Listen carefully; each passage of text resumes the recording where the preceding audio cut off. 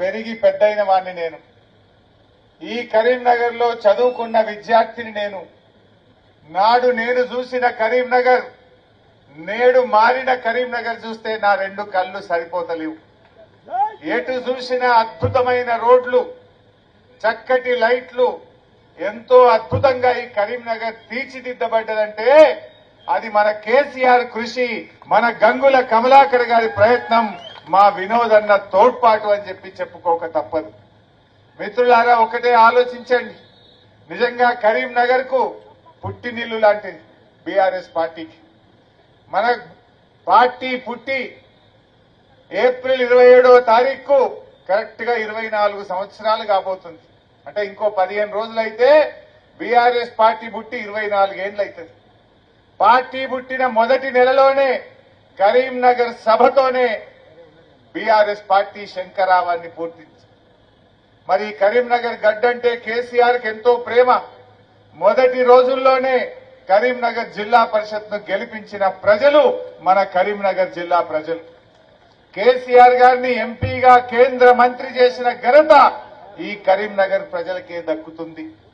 రెండు సార్లు తెలంగాణ కోసం కేసీఆర్ గారు రాజీనామా చేస్తే కూడా గుండెకు హత్తుకొని ఆశీర్వదించిన గడ్డ ఈ కరీంనగర్ గడ్డ అని చెప్పి నేను గుర్తు చేస్తా ఉన్నా. కేసీఆర్ గారు కేంద్ర మంత్రిగా ఉన్నప్పుడే కరీంనగర్ నుంచి హైదరాబాద్కు రైల్వే లైన్ మంజూరు చేయించారు. ఆనాటి యూపీఏ ప్రభుత్వంలో వినోదన్న కేసీఆర్ గారు కలిసి కరీంనగర్కు రైలు శాంక్షన్ చేయిస్తే ఇవాళ పనులు దగ్గర పడతా ఉన్నాయి. అదేవిధంగా మీరందరూ రెండు వేల పద్నాలుగులో వినోదన్నను ఎంపీగా గెలిపించారు. మరి వినోదన్న విద్యావంతుడు మంచి మేధావి మృదు స్వభావి పది మందికి సహాయం చేసే గుణమున్నటువంటి వ్యక్తి.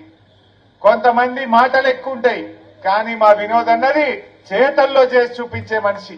ఆయన మాటలు తక్కువ మాట్లాడతాడు ఆయన చేతల్లో చేసి చూపిస్తాడు.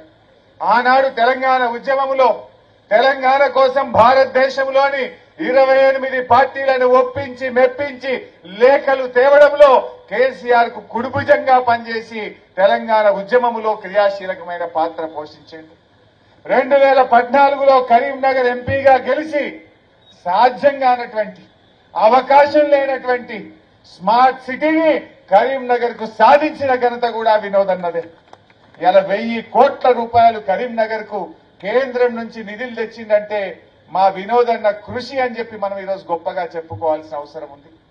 అదేవిధంగా ఇవాళ వినోదన్న జాతీయ రహదారులు ఇక్కడి నుంచి కామారెడ్డి జాతీయ రహదారి గాని వరంగల్ కరీంనగర్ చొప్పదండి జాతీయ రహదారి గాని ఎల్కతుర్తి హుస్నాబాద్ మెదక్ జాతీయ రహదారి.